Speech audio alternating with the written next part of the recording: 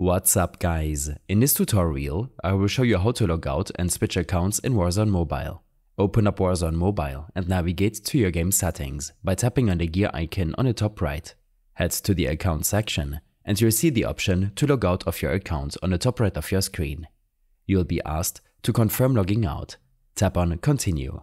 Be aware that you might lose progress on your guest account if you haven't linked it to your Call of Duty or social accounts beforehand. The game will load for a second before logging you out. You'll be brought back to your login menu. You have the option to log in and switch accounts if you have a different account. You can also choose to create a new account or log in via Steam, Xbox, PSN or Battle.net.